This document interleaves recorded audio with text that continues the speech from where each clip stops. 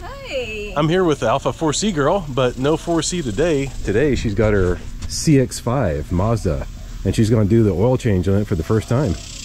You're going to show us how to do it. Yeah. All right, so we already got it up on the ramps, and now we need to get underneath it. So let me grab a piece of cardboard. Mazda actually makes it pretty darn easy for us. Get under here, and this panel right back here is the one you got to take off. You have like two little eight millimeter bolts to take off, and then there's like these little push pin things, like these guys, which uh, you get underneath there and like pop those out, and then you're able to take them, uh, pull the little pins out.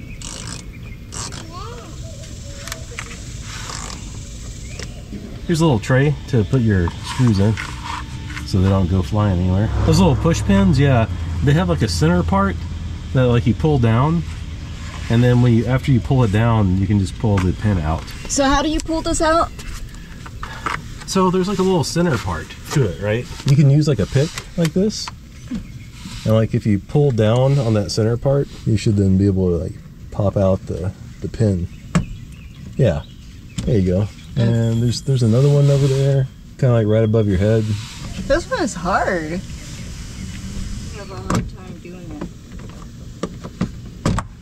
There we go. Trim removal tool. Got it. It is a slightly different kind of clip From the other one? from the other one, yeah. Yeah, okay.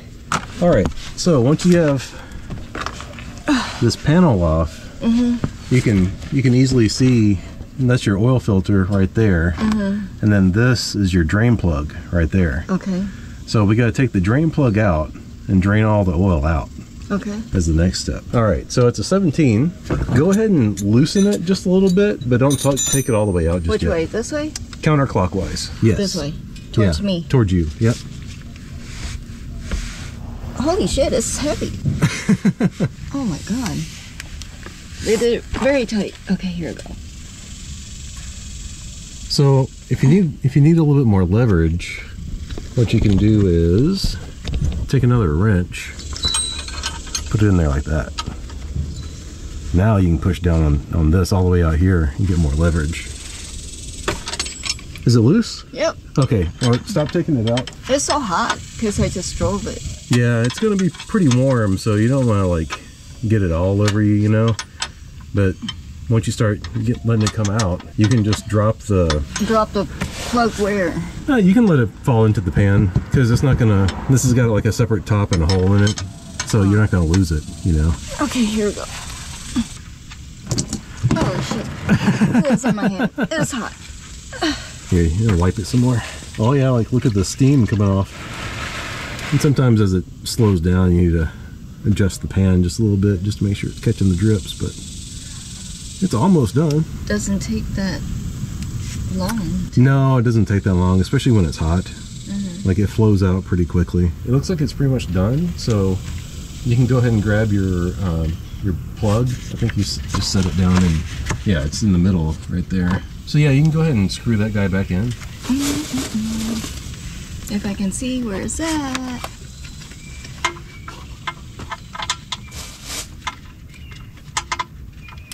Once you got it going in, you can push the push the pan out of the way. And how tight it was, it, it doesn't actually need to be that tight. Like you just need to like snug it up just really good. Like grab the the bottom of the wrench. Mm-hmm. That way you'll get the best leverage. Like whenever you you push. Yeah, that's good. That's that's plenty tight. Well, we weren't filming, but we did get the filter undone. Whoops, missed filming that, but that's pretty easy. You just unscrew it and then it sits up in there straight like this. So after you unscrew it, you just dump it out into the oil pan like that. Do you want me to do it over? No. Don't need to do it over. But we can definitely see you putting the new one in. And this thing uses such tiny little filters. I'm, I'm actually surprised at how small the filter is. One thing about the filter is that you see this little rubber ring on it? You need to have oil in there? Yeah, you don't want to put that on dry. So, like, take your stick your finger down in there and like just get like some oil on your finger and rub that around. It's like putting oil on the lips. Yeah, like, because if you put that on dry, then it's gonna stick. Like next time you try to get it undone. you don't need to clean the old oil out. Nah, you don't really need to clean it. You can just put it up in there and screw it on. And actually, don't use the wrench on it. Um, just grab it like really hard with your hands and tighten it in. Is that good? Yeah, I mean, like just like grip it, grip it as hard as you can, and just give it like a nice good like tighten with your hands, and that's good enough. They don't have to be put on very hard. I think that's good. Yeah. I know when it's not good. When I'm driving off something, all the oil come out. right. Yeah. Exactly. You can go ahead and put your little plastic cover back on. And I think it kind of had like some tabs that it sort of slid up in? in there. Yeah. There we go. So the front side kind of like dips in first. Where's my screw? How do you put the plastic plugs in? Oh, don't have don't have that middle part in. So you got to have like that middle part like out. So with that middle part like pulled down, you kind of like put it in and you push you push from like that flange, the bottom flange. Which one is this one belongs to? That one belongs over there. Yeah. Yeah, I like that. And then you push the middle part in. Yep. Just like that. It's all mingled. Obviously, whoever did your last oil change wasn't too uh, gentle with it, but you know, it works.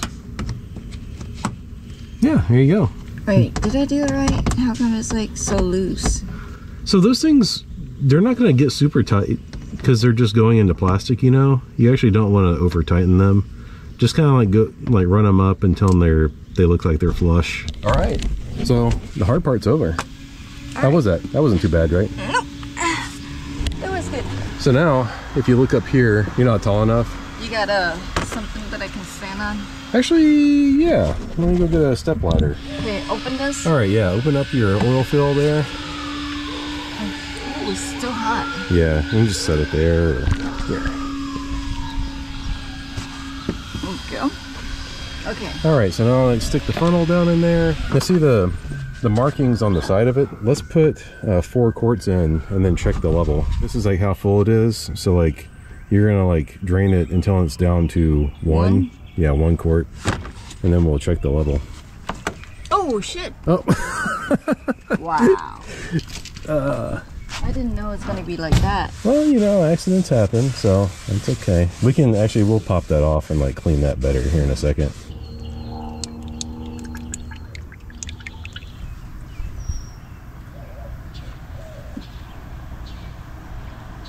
Let me get you another rag. You can kind of wipe off the stick after you pull it out. You can use this one or that one, whichever. The goal is to have it, Second. yeah, up at that the top top dot.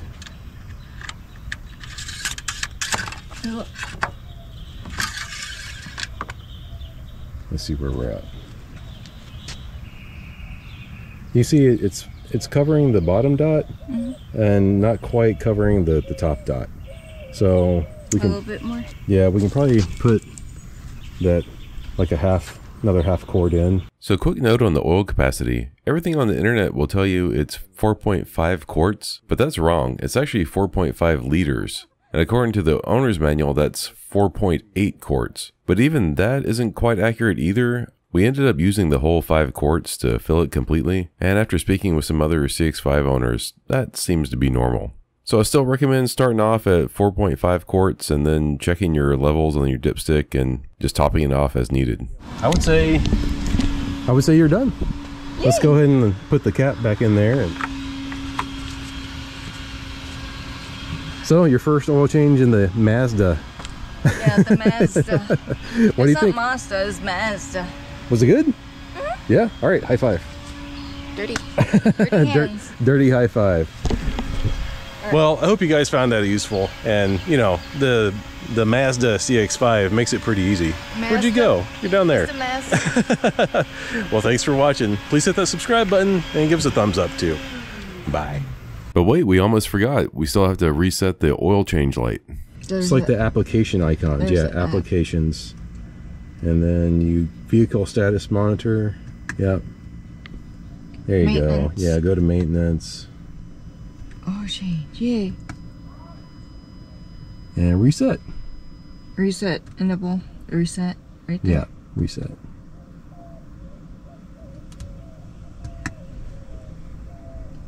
And there you go. Yeah, the oil change due warning light went off up here. Yay. So, There you go. That was it. That works. Thank you.